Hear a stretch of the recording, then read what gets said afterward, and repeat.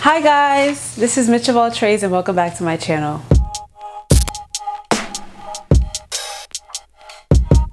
This video I'm going to talk about six ways to get the best out of your orientation as an ICU nurse.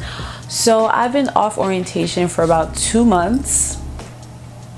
That's right, your girl has been working on her own for two months and it's scary, but I'm really like proud of myself. Whew, I didn't think I didn't think I was gonna make it this far. I was scared to even deal with very very sick patients by myself but i'm truly truly grateful to god that i've been able to handle it for two months independently i've been able to take care of patients and actually you know make sure that they don't die on me. You know what i'm saying? Like i've been i've been really good.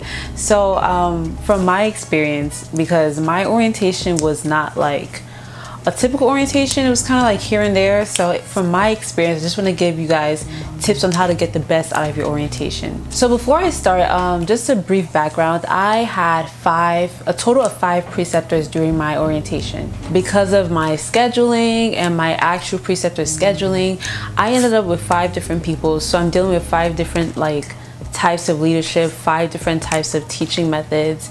And um, I wouldn't say it was like a bed of roses, but I believe that from that I was able to learn so much. And that's what I'm gonna share with you guys today. So, tip number one is to focus on what you need to learn and block out the extras. Now, if any of you guys have been working in a nursing setting for more than like six months, you know that um, there's gonna be so much going on, a lot of unnecessary stuff going on in the unit. Either there's some like drama going on, or there's some kind of like cliques um, in the unit, or maybe some kind of animosity between coworkers.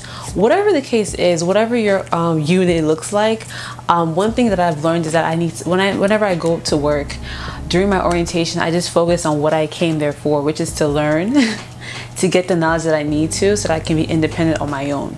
It's so easy for people to drag themselves into that or find themselves dragged into that kind of thing or um, just to fit in they try to like blend into like finding cliques or um, engage in gossiping or whatever the case is i've realized that that can distract you from your actual learning experience. As a new um, nurse in a new unit, it's important that you learn the culture of that unit and whatever distracts you from learning that or whatever might be a barrier from learning that, I would suggest to block it out. At least for your orientation experience because you never get that experience ever again. Once you're done with orientation, you are on your own. So it's best to focus on what you came here to do. It's best to get the knowledge that you need and just block out the extras besides like you don't want like well me personally like i have so much going on for me to engage in work drama or in work like cliques and like gossip and stuff like that. So one thing i learned is just to focus on what i came to do. And that was it. Tip number two is to always ask your preceptor for feedback. Um, so personally like normally i will always come to work just breathe in, breathe out, and like try my best to just tiptoe around things because I was just so nervous. I was so scared. Like I wouldn't deny it. I was always so scared coming to work. Um, I was afraid to touch patients and everything like that. So I was just like come in, go to go to work and just leave and just like try and just survive through everything. And um, I was just like, you know, it's okay. And I think uh, one day during my lunch break, I was just curious and I just asked my preceptor, "Oh, so like, what do you think about like my performance so far? Like, what do you, what do you think about how I'm doing well?" Because my preceptor, my main preceptor, she's no, she's kind of like a quiet, more reserved person. So I just wanted to ask her just to make conversation just to see like where I'm at in comparison like to what an ICU level nurse should operate at. And then she was like you didn't do this, you didn't do that, da, da, da, like she had a whole speech and it was just so awkward. I just started laughing because I'm just like, wow, like I I'm glad that I asked because I wouldn't have known. Um, or even if like even if what she said was true, which it was, I would have probably thought, oh, it's only me that can see that part. But it was very important that I asked her for feedback. One, because being that she's my preceptor, she needs to know, we need to have that communication of where my level of expertise is, what I'm proficient in, and what I'm not proficient in. And I think it was very good that I asked for feedback. Um, you might come across a preceptor that already does that on the regular, but my preceptor wasn't really someone like that. So I had to ask her. And ever since then, I always kind of like debrief with her after every shift just to see how I did on things and what I can improve on. And that's something that I would really recommend to any new nurse going into a new unit uh, with your preceptor. Make it a habit to see, like, just to evaluate yourself and have her or him evaluate you and see where you're at. At least you will have an idea of what you need to learn more, what you need to focus on, what you need to hone in on, and what you're really good at. Tip number three is to always ask questions. Now, for me, I'm not scared of asking dumb questions. Well, not anymore. um, when I started working in the ICU, the first thing that I said to myself was like, listen, I need to no matter, I don't care how I'm gonna get it, but I need to get the answers to any questions that I have because I don't want to be like responsible for any like mishaps. so I was always had it in mind like, you know, I'm gonna ask questions when I need to ask questions. I shouldn't be afraid to ask questions, and that's my tip to you to always ask questions. Questions to the doctors, questions to other nurses, questions to your manager, questions to your tech, questions to the unit clerk. Like, you need to know how things are being operate like how things are operating in that unit. Like i said earlier the culture of the unit is very important and it's good that you it's important that you learn what the culture is. Um, i can't apply the culture of my old unit into this new unit because i will just look like a fool. And it probably won't really like blend in because i was working more on the med surg area while this is more of like an intensive care critical care floor. So always ask questions. Oh just out of curiosity, why did you order that? Oh, just out of curiosity, why did you do it that way?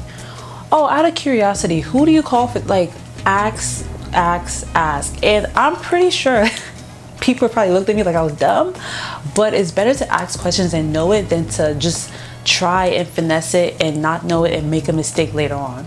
Always ask questions. Tip number four is to be helpful to your coworkers. Now, this implies, like I mentioned, to your fellow nurses, to the techs, to the unit clerk.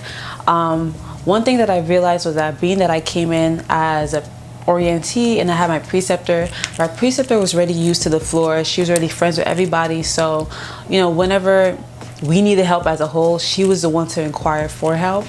But I had to realize that when I'm by myself, I'm gonna need to work with people independently as an independent person because before I was attached to my preceptor. So, um, what this meant for me was learning how to help others. Um, people wouldn't give you help if you don't help them. So, having that very good relationship with your coworkers is very important because when you're done with orientation, you're going to be on your own if you need help, you're gonna have to ask people for help. Your preceptor is not gonna do it for you. So it's good that you learn how to have a, a healthy relationship with everyone so that you can when it when the time comes for you to need help, you would have help by your side. Tip number five uh, to get the best out of your orientation is to write things down and study when you get home. When I first started my job um, in the trauma unit, I never wrote anything down. I just like came to work, whatever I learned, I learned, and that was that. Um, I would say maybe the floor didn't challenge me enough because working in the ICU, no one had to tell me to write things down. Um, and even one of my five preceptors, she also like kept telling me that you know you always have to study when you get home. And that's something that I had to learn, like studying what I've seen, studying the new things that I've learned, new procedures, new protocols, new drugs, like studying them when I get home. There's this YouTube channel that I watch and it's called ICU Advantage. And basically it's everything that you need to know, everything that you need to know ICU related, be it um, drugs, cardiac medications, sedation medications, um, how to use like a continuous dialysis machine like the CRRT how to use like just different things and um, things that you would see mostly in the ICU. And I um, kept watching those videos, kept trying to get familiar with those medications and what they do and how to titrate and just just kept learning and that's not something I was really expecting to do because personally I just felt like work did not require for me to like study like I was in school. But in the nursing field like everything requires knowledge and you can only get knowledge from learning and reading and watching videos that can give you the knowledge that you need. So i will always recommend to write things down things that because when you come in there's going to be a lot of unfamiliar things. Write them down and study them when you get home. Last but not least tip number six is to keep an open mind and an open eye for new things to learn. There was a common thing that people told me when I walked when I started working in the ICU and this tip was that I need to be teachable.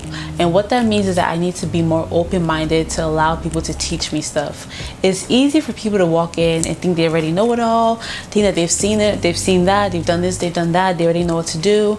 Um, and I don't care how long you've been working as a nurse. Like I mentioned earlier, when you walk into a new unit, it's a new culture that you're getting into. And it's important that you humble yourself, just tone it down a little bit, and be willing to learn, be open to learning um, the new things that you're going to be seeing in this new unit that you're going to enter. So, um, that's something that I try to do. I try to keep an open mind. And of course, it can be a struggle because every nurse feels like they already know what they know but um, it takes a certain level of humility to really just be like okay let me shut up and just listen to what they're saying because there might be something that I probably don't know from this thing whatever it is. So that's my tip. As time went by as I was on orientation I like learn these things. Some of them I had to learn from experience. Some of them I had to learn from just people telling me um, some of them I had to learn from mistakes, but um, it, as an accumulation of all these things and my entire experience, uh, these are the main things that stood out to me and I just wanted to share with you guys. So let me know this helped you. Let me know if you have any more questions. I'll be so willing to answer them. Um, make sure that you like, you comment, your thoughts, you subscribe to this channel, and just be on the lookout for more videos. I know I've been gone for like two months but i'm really trying to be more consistent i want to put out more for you guys and i really appreciate all the love and support you guys have been giving me um, it means so much and it really motivates me to put out so much more for you guys um, also follow me on instagram and Twitter and all my social media platforms. I'm going to put them down in the description box so you guys can see it.